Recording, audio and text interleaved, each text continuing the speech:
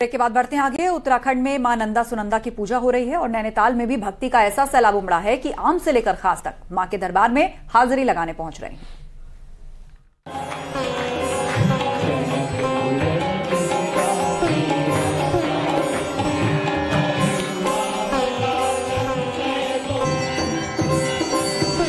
सरोवर नगरी में मानंदा की ये पंचारती लोगों को खींच लाती है। घंटियों की गूंज और ढोल की थाप का ये मनोरम दृश्य लोगों को खास आकर्षित कर रहा है।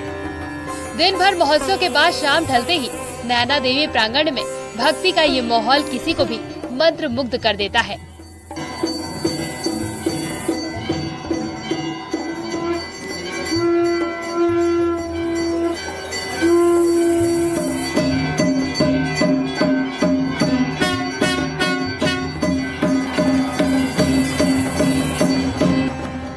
पुजारी विशेष विधि विधान से पूजा कराते हैं और माँ की पाँच वस्तुओं से अर्चना की जाती है। जल, पंचदीप, पुष्प समेत दूसरे चीज़ों से होने वाली इस पूजा के दौरान मान्यता है कि पुजारी में माँ प्रकट होती है, जिसके बाद पूरा मंडप माँ नंदा के जयकारों से गूंज उठता है।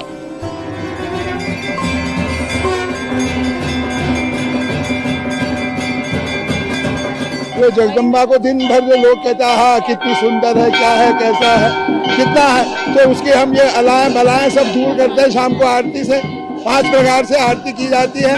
और आरती करने के पश्चात इतना आनंद आ जाता है कि स्वयं भगवती जगदम्बा मेरे हृदय में निवास करने लगती है। इस आरती का क्रेज इस कदर है कि दिन भर की थकान के बाद भी लोग यहाँ खींचे चले आते हैं। चाहे आम हो या खास हो, वो माँ के दरबार में मत्था टेकने पहुँच ही जाता है। लोगों का कहना है कि इस मेले में माँ खुद ही अपने भक्तों को ले आती है। मेरे लिए पंच आरती सबसे इम्पोर्टेंट है क्योंकि हम बाहर रहते हैं और इसी के लिए मैं स्पेशली पंच आरती देखने आई हूँ। और आज मुझे दर्शन मिले तो मुझे बहुत अच्छा लग रहा है और ऐसा लग रहा है कि मेरा आना सफल हुआ। बहुत ही अच्छा लगा।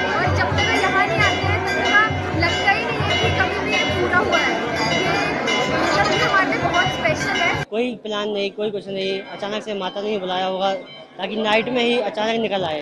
डायरेक्ट यहाँ आके यहाँ काफ़ी घूमा मतलब बहुत अच्छा लगा। भक्ति में ही शक्ति होती है, ये सुना ज़रूर होगा, लेकिन यहाँ सब कुछ सामने दिख रहा है।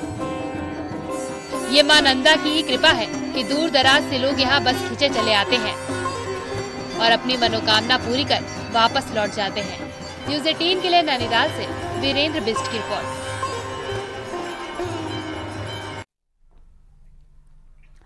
जोशीमठ जैसे हालात अब पगनो गाँव में भी होने लगे हैं और यहाँ भूस्खलन के बाद घरों में दरारें पड़ने लगी हैं।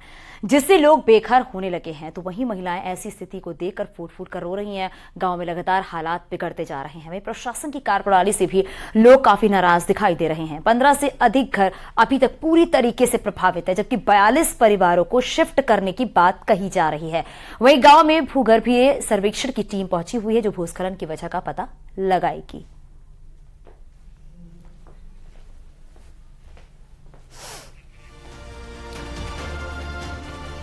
दो तस्वीरें आप देख रहे हैं। पगनो गाँव में खतरा किस तरीके से बढ़ता जा रहा है और दरारें पड़नी शुरू हो गई हैं। गाँव के कई परिवारों की मुसीबतें बढ़ती ही जा रही हैं।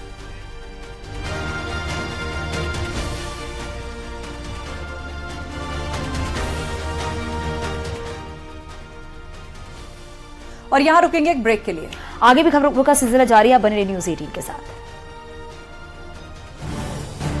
आप देख रहे हैं न्यूज़ 18 उत्तर प्रदेश उत्तराखंड।